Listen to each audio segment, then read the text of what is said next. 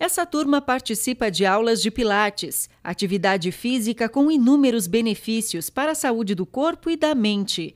As aulas fazem parte da Academia da Saúde, um projeto desenvolvido pela Secretaria Municipal de Saúde de Pato Branco e que é realizado no Espaço do Céu das Artes. Depois de um ano e quatro meses sem aulas por conta da pandemia, essa retomada das atividades deixou muita gente feliz. Isso aqui é vida para a gente. A gente fica muito parado, fica cheia de dores. Assim eu estou. Só uma vez que eu vim, eu já tive uma semana melhor. Muito melhor. Isso aqui é uma riqueza. A Patrícia aproveitou a oportunidade e se inscreveu no projeto. A atividade física ela é essencial, né, para nossa saúde, para o nosso bem-estar, tanto físico quanto emocional, né. E aí eu é, estou há um ano e meio trabalhando em home office só em casa, então para mim está sendo muito bom, foi bem legal. Para que as aulas fossem retomadas, protocolos de segurança foram estabelecidos.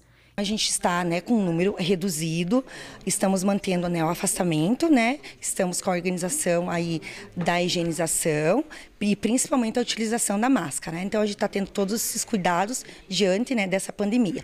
Mas que a gente consiga é, voltar com segurança e adequando aí para a nossa população melhorar a saúde e qualidade de vida né, depois desse pós-Covid, porque a gente também tem pacientes pós-Covid aí, que aí a gente está na reabilitação deles. O Céu das Artes e do Esporte está com inscrições abertas para turmas gratuitas de balé, acordeon, artesanato, informática, kickboxing, skate, patins, oficina infantil de breaking, hip hop e capoeira.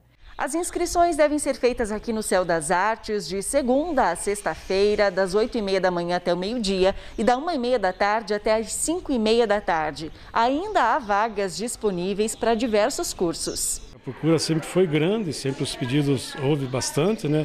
E hoje aí, se iniciando com umas turmas cheias e dizendo né, para a população que nos procure, vem aqui ao local do Céu das Artes, que a gente vai tentar encaixar e fazer o melhor para todo mundo aí. São atividades de graça para crianças, para jovens e para adultos, terceira idade também. Isso, o Céu das Artes sempre teve isso aí, né?